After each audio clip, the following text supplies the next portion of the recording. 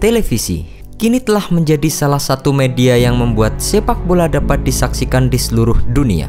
Namun, tahukah kalian kapan pertama kali pertandingan sepak bola disiarkan di televisi? John Logie seorang insinyur asal Skotlandia, mendemonstrasikan sistem kerja televisi untuk pertama kalinya pada tanggal 26 Januari 1926 di laboratoriumnya yang berada di kota London, Inggris. Setahun kemudian, Baird mencoba sistem sinyal televisi jarak jauh dengan menggunakan kabel telepon dari London ke Skotlandia. Setelah itu, BBC kemudian menayangkan siaran sepak bola untuk pertama kali lewat televisi pada tahun 1937. Pertandingan yang kala itu disiarkan adalah pertandingan antara Arsenal melawan Arsenal cadangan di Stadion Highbury London. Uji coba itu hanya bisa disaksikan di rumah-rumah yang dekat dengan stadion tersebut. Pada tahun berikutnya, BBC menayangkan pertandingan final Piala FA secara langsung untuk pertama kalinya. Pertandingan tersebut mempertemukan antara Huddersfield Town melawan Preston North End.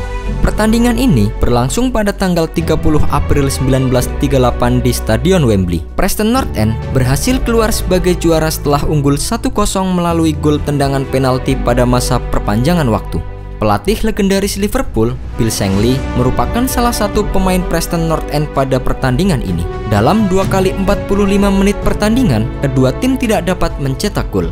Pertandingan pun dilanjutkan ke babak perpanjangan waktu. Memasuki babak perpanjangan waktu, kedua tim masih kesulitan untuk mencetak angka. Memasuki satu menit terakhir babak perpanjangan waktu, sebuah drama pun terjadi. Pemain Huddersfield melakukan pelanggaran di kotak penalti dan wasit pun langsung menunjuk titik putih.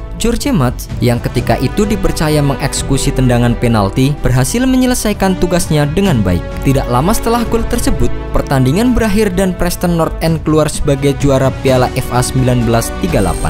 Selain itu, pada tahun yang sama, pertandingan internasional pertama kali ditayangkan yakni pertandingan antara Inggris melawan Skotlandia. Setelah siaran sepak bola di televisi mulai berkembang, Piala Dunia 1954 pun untuk pertama kali disiarkan secara langsung. Setelah itu, perkembangan siaran sepak bola langsung di televisi terus berlanjut hingga sekarang. Seperti yang dilansir oleh The Guardian, jual beli hak siar pertandingan sepak bola terjadi pada tahun 1988. Saat itu, Taipan Media Rupert Murdoch mengajukan tawaran hingga 40 juta pound sterling atau setara dengan 871 miliar rupiah untuk hak siar eksklusif sepak bola. Sebelumnya, sejak tahun 1960-an, siaran sepak bola di Inggris hanya disiarkan oleh ITV dan BBC.